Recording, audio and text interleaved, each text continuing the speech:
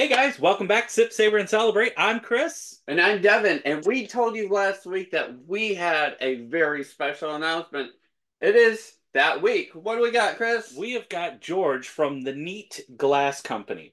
Now, we have been using these agave glasses for a while now. And if you've been following our channel, you know that we love this particular glass. And I know that other content creators love to use the Riedel glass or the Glen Glencairn or, you know, and, and, and I agree, just like, you know, drink what you like. I think I get so much more from this glass. So I reached out to George. George, welcome, welcome, welcome. Uh, George is the CEO of the Neat Glass Company, and I asked him for some information about the glass uh, glassware that we use, and he had so much to talk about. I'm like, will you please come on the channel? So, George, welcome, welcome, welcome. Well, thank and, you. It's really great to be here. Uh, being a tequila aficionado myself, it's really great to make connections like you guys. Would you tell us first, before we talk about the actual glass, uh, will you give us a quick little background? Because one of your degrees really threw me off, and I'm like, there's a degree for that? Tell us about yourself first. Well, actually, uh, my first job was actually as a design engineer for Ford Motor Company, and I designed engines. And uh, of course, all phases into production and that type of thing. Uh, later on in my life, I had a big career change, and I went into financial planning, and I worked for uh, uh, Morgan Stanley. but I've always been interested in spirits and wine and olfactory and uh, really uh, learning more about the sensory of uh, drinking and tasting uh, good wines and good spirits. Yeah, you told me that you had a degree in sensory. Was that is that how how was that that you said that? Oh, no, I'm a member of the uh, sensory science professionals. Oh, uh, okay, that's what it was. Yeah, and I write uh, I write articles for Chilled magazine, Artisan Distiller, and also Proof magazine. Okay, very okay. cool. So as we go through this interview today, just so that we can give credit to our amazing spirits, what are you what are you going to be using as your demo today? Today I'm going to be sipping on Fortaleza, this is the Mission 1530. The Mission 1530, if you remember, if you go back to our uh, video on it, uh, this is to collect and uh, raise money for the communities in the tequila um, areas where it's made down in Jalisco and all that for actually helping out the education, the uh, the um, the education and the um, the keeping it going for years, so that way they can not just use up all their resources. And uh, that's what the uh, the 1530 is for. What are you working on? I'm gonna be the whiskey guy. I've got the Penelope over here. We're gonna be sipping on this just to see what we get. And if you made it this far, do us a favor. Hit that notification, hit the like button, and share us with your friends so you too can learn about these glasses and see when we post something next. Because George is about to take us on a journey here and tell us all about the glasses that we enjoy. George, what are you sipping on today? Well, I happen to have a bottle of uh, Sierra Añejo. Oh, uh, yeah. We just did those last week. Okay, so I think I'm like going it? to have a little of that. I like it just fine, but I have to confess to you that uh, I'm also a uh, Scotch and a whiskey guy, and I kind of think that uh, that aging belongs with Scotch and whiskeys and not with tequilas. So I tend Fair. to like the Blanco tequila much more. Blanco is where I lean more to. And I didn't didn't like the tequilas. I love them too. So perfect. well, uh, salute, sir. Salute. salute. So as I was telling you on the phone, and I'm like, I'm trying to describe why I like using your glassware the most. And I tell everybody it's just I like to be able to get a full body of the the spirit. I don't want just like alcohol coming at the nose. And when I seem to have an ability to have a taste, I can get my nose in there without dipping it in without dipping it in or going on the other side of the glass. and it just right. adds to the whole experience. And then you went into the explanation of why that is. Will you please educate us all why you designed the glasses the way they are? And each of the three different glassware that you offer are pretty awesome. Uh, this one has a little foot on it, as you had said, and then that's the ones that I prefer the most. Correct. This is so that way I don't transfer my hand heat to the spirit or the fingerprints or the fingerprints. Mm-hmm. Now this one is I think this is really good for Mescales. Um, and that one does not have the foot on it. This one is brand new. You just uh, you sent this one, and I didn't even know this existed. It's beautiful. It's elegant. It's and it's still the same exact size. You know, the glassware itself is the same size, so I don't have to sacrifice being able to smell and taste at the same time. But I can exactly. still look elegant doing it and fancy. I got fingerprints yeah. all over. so please educate us if you would, please. Okay, first of all, you know, uh, when we taste, we've been so used to drinking out of these small rim glasses like uh, tulips and Glencairns and Riedel glasses, uh, Riedel champagne glasses, and that type of thing, especially the one in your case that has been designated as the official uh, tequila glass by the CRT. The problem is that these narrow openings concentrate ethanol and shove it up your nose. And yeah. ethanol is an anesthetic and it's also pungent, which distracts you from finding the regular uh, aromas of anything that's underneath. So, what we've done is move ethanol away from. I have a little short slide presentation here I'd like to go through with you, and uh, perhaps a little you both on the design and what's really going on in your glass. Are you ready? Yes, absolutely. Please. Okay, here we go. Uh, when I say challenging world's favorite, I'm talking about tulip glasses, which concentrate ethanol. So, oops, we lost your screen sharing. sharing. okay.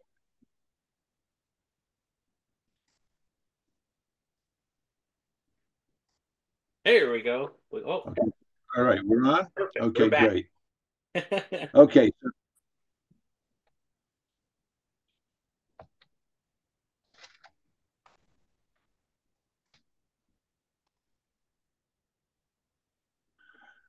the first and only spirits glass ever designed by applied physics, chemistry, and sensory science to deliver true aroma profiles and enhance drinking enjoyment. What we actually did here was take some of the good parts of glasses with divergent rims and converge them with those with convergent rims so we could get the best of both worlds. Oh, I see. Uh, here's your two. Of our fishbowl. So we, we we we like we like the fishbowl when it comes to swirling, but we don't like the the concentration of aromas from the fishbowl. So we took this large convergent bowl shape, which assists in efficient swirling and enhances the evaporation, and we uh, put a neck at the top and decided to put the top of a cocktail glass over the top. And that neck intensifies molecular collision, and that increases the low mass methanol or ethanol molecule motion. In other words, these molecules are banging together in a smaller space and they're looking to get out. So we try to control that with the divergent flared rim. And the low mass ethanol races quickly to the sides in the rim and leaves a much slower moving character aromas at the center of the rim plane for detection and identification without nose numbing and without that pungency. So we say boo to tulips. and let's just talk uh, about why we like the swirling aspect of it. Yes. It's really interesting because swirling is the engine that powers evaporation because it breaks the surface tension and releases the aromas. Larger bowls have a larger liquid surface area and a larger wetted surface area, and that releases much more aromas when you swirl. Narrow bowls don't swirl well and they have less liquid area. They end up on top of you. yeah, and so so what you're getting is less aromas because aromas are harder to come out break the surface tension than ethanol is, and I'll show that in a few minutes. In the liquid, heavy compounds tend to sink to the bottom. Swirling also mixes all those liquid components uh, so that they're everywhere in the glass for release. So we're basically saying short and fat outperforms tall and skinny. Ha! Told you. Look at me. Oh, uh, uh, yeah, me too. Okay. So with, so we're going to talk about design parameters too. And the uh, shorter glasses deliver more aromas. Why? Because your nose is closer to the surface of the liquid. These things all have a molecular mass. That means that the heavier ones, the larger molecular masses, tend to hang lower in the glass. And if you take a tall glass, you're going to get more ethanol than you do in a short glass at the rim. So shorter vessels deliver more aromas to the nose. So the ethanol rises higher, crowds out the aromas. All vessels focus ethanol at the nose. The flared rim dissipates the ethanol, permit short vessels to focus flavor aromas at the nose, not ethanol. Again, short and fat outperforms tall and skinny.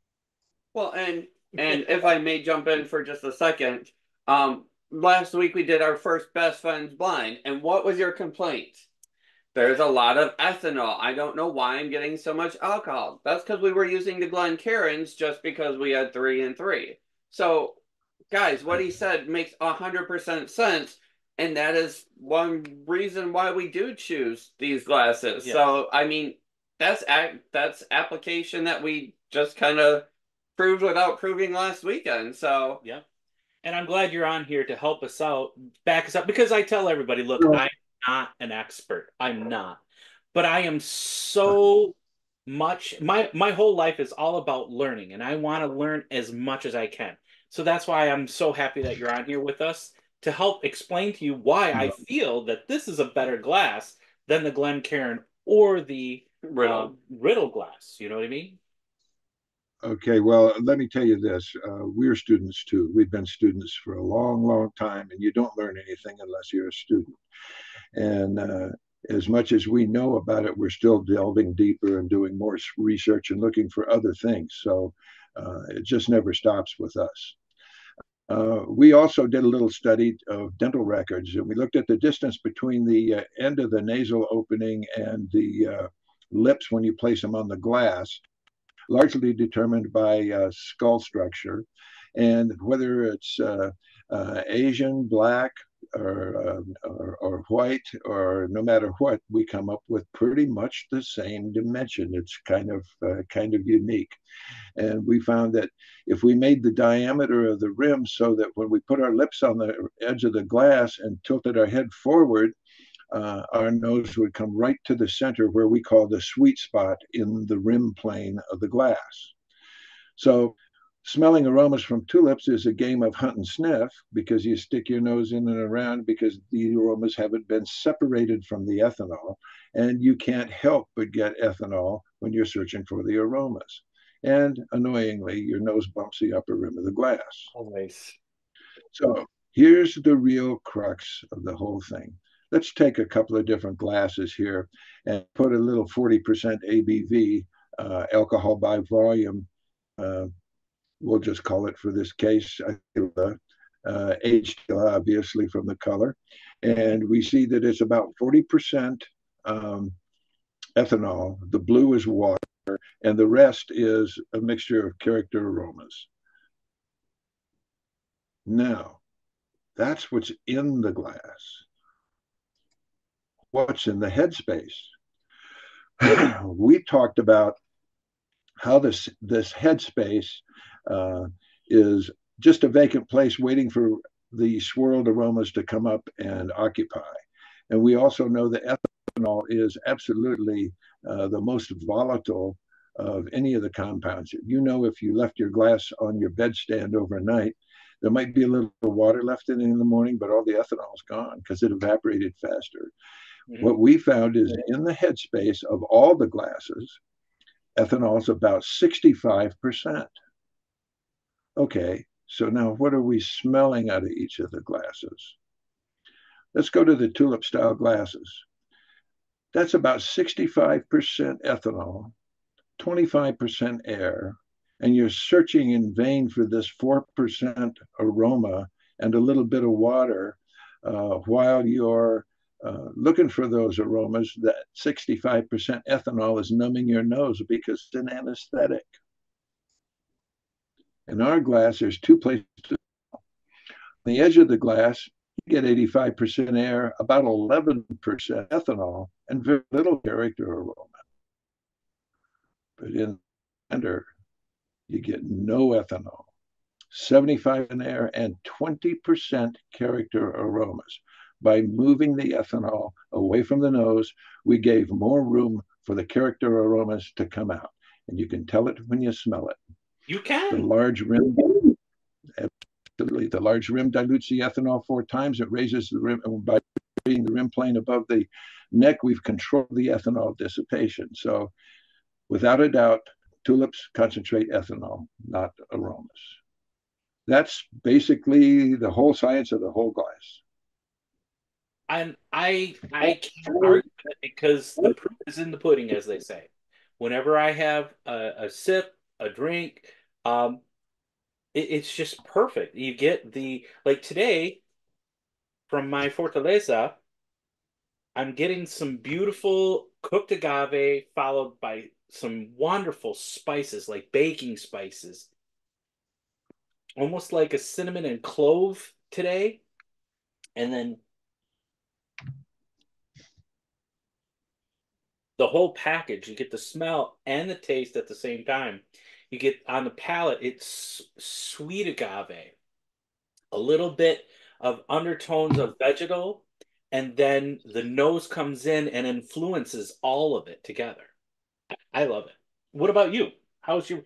We don't normally do bourbons or whiskeys in our agave glasses, but well, we've always called it an agave glass. We've never really tried the bourbons or the whiskeys in there. What What are you thinking? So first off, you know, we have been taught, you know, by the master distillers to think of of the the lip as a clock, and at various aspects, you're going to find different um, aromas and nose cultures.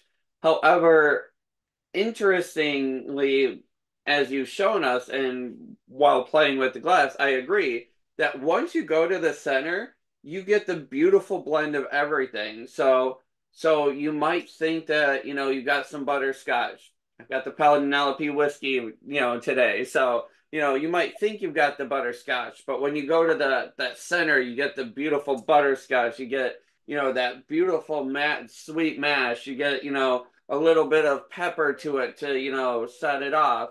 And mm. then, you know, there's a beautiful sweetness that is, you know, undertoning it all. And that's just from really going to the the center finding it all. I mean, yes, you do get the pieces around, you know, the rim, but once you go to the yeah. center, it's all but there. Once, Every once you get that ethanol out of there, because I don't like to have straight up alcohol. I, am just not a fan. You know, that's why I was always shunning my tequilas before because it was always like Jose Cuervo and all that kind of stuff. That it's just so bitter and so bad, and it's just nothing but alcohol. Right. Once I started learning that they're not, that's not how it's supposed to smell. That's not how it's supposed to taste. I started let me, let looking me... for these flavors, and they're so good. Well, let me give you a little uh, hint on using the glass. then This this will really help out too, because remember I said everything separates by molecular weight. What you're going to find out is that in the center, you're going to get your more oaky, your heavier compounds. We can we have actually uh, run GCMS studies and taken the spikes on the GCMS study, identified what compounds they were, and predicted where we could find those aromas in the glass. If okay. you look at the whole surface of the rim as your uh, your palette, let's say, palette as in paint palette, as in uh, display and you put your nose in the center of the glass and just breathe in very slightly as you move along towards the edge of the glass. You will pick up florals closer to the uh, uh, edge of the glass. You need to move your nose across to catch everything that's in the glass. At the end, of course, you're going to get that little bit of little bit of ethanol, but also some other things there. You might you might find some other things that maybe are disagreeable to you that we're hiding behind a, a, a tulip glass. So. So I see somebody sticking in their nose all the way in the glass. Try to hold the glass level and go over the top. And that way you will get much better, uh, much better definition. Now, is this the easiest glass to drink out of? Hell no. Uh, in a in a tube, you can always throw it back, right? Uh, well, that's no different than the uh, guy standing at the bar taking a shot at tequila and biting the lemon and licking the salt and throwing it back. So uh, you're not interested in the taste when you're doing that. Right. This glass isn't about how easy it is to drink from. This glass is how do you find out what's in your favorite spirit? Okay, I like that. I love that actually. what's in your glass? Not what's in your wallet, what's in your glass. Right. what's hiding? Well, that's what we say. What's hiding in your glass? exactly. Man, I just get some beautiful brown sugar and cinnamons over here.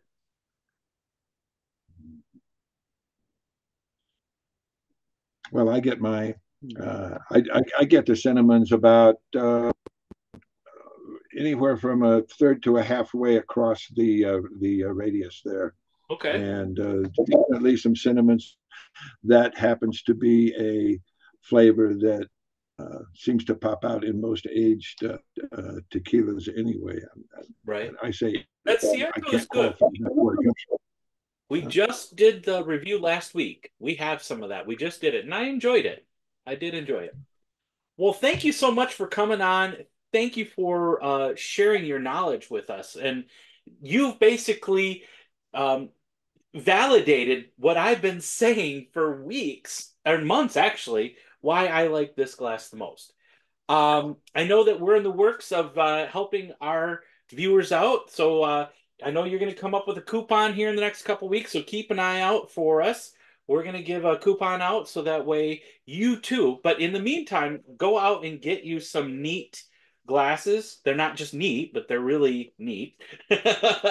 um, the way I always bought them is I, I, you can either get them on Amazon, but you also go straight to their website. Um, and will you let us know how people can find them?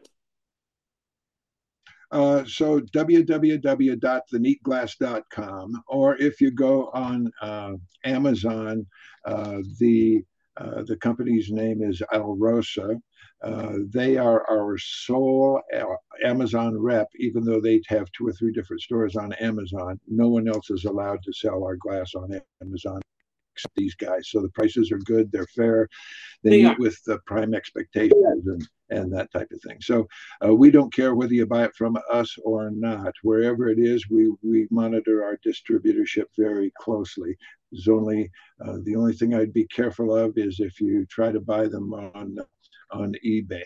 Okay. just getting on there now, and the people that are charging way too much for the glass that are on there. So I would not suggest going to eBay to buy the glasses. Well, I found yours strictly by accident because somebody out there was saying, "Hey, you should go get the Denver and Liely uh, agave glass."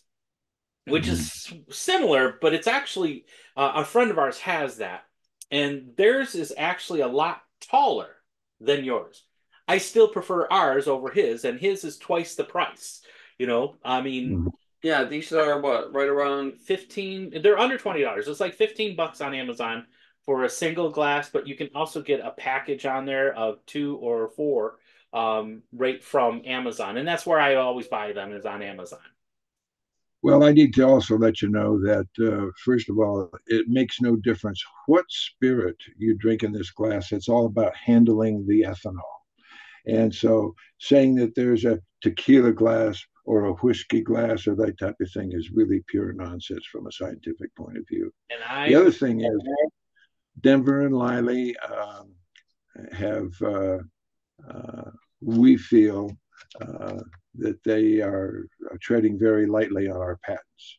So, um, frankly, between you and I, uh, I don't see it as uh, uh, a threat yet because they're so much more uh, more higher priced than we are. Yeah, but they're just remember forty five dollars for one glass. Right. This is the original, and this is patented. Well, good. I love it. I want you to know that we appreciate and we are humbled that you came onto our channel to share the knowledge of basically why this is so much better for us. Um, and I'm going to be continuing to use this. You're going to see us always use these glasses, but folks, should we give a sneak peek? Uh, what's that? Should we give a sneak peek? Do you mind if we give a sneak peek of uh, oh. one of your glasses to come? No, that oh. not yet. Uh, I can I can show you this. It just came into the warehouse, but you have one sitting there because I sent you some. Yeah, uh, the other, we have a couple that are uh, under wraps right now. Uh, we have patents on our beer glasses, but we haven't uh, released them yet because we're doing a, some small tuning there with our with our beer panel to make sure we cover all the bases. And it's perfect when we release them. So set of the background, we're working on wine glasses, and a lot of wine glasses you can do in three shapes. We just want to mention uh, not only the handling of ethanol, but historical origin of glassware and this type of thing. We have many presentations we'd love to show you guys. So uh, please don't hesitate to ask us to uh, come back. Well, oh, of course. Do. We would love that. And so there you go, guys there's a sneak peek as to what they have coming up. Beer glasses wine glasses they've already got you know their spirit glasses out. You can obtain it. And you know stay with us because we're gonna hook you guys up with with a coupon code in the next coming weeks. And uh and you know we're not going anywhere. So always remember to guys to, to sip savor and, and celebrate. Salute I just heard that you actually do have a coupon for our folks. What is that coupon code? That coupon code is SSC NEAT, N E A T, all in capital letters. And where can they and use that, that coupon? Percent off. That gives you 15% off at www.theneatglass.com. Perfect. Well, thank you very much, guys. Remember, that's SSC for Sip, Savor, Celebrate, Neat, and all capital letters get you 15% off of their neat glassware. I'm kind of excited for these. I can't wait. You know, I know we might just have to use them later in uh in reviews. That's right, our next reviews. But thanks, guys, and remember always sip, savor, and celebrate. Salute. Thanks again, George.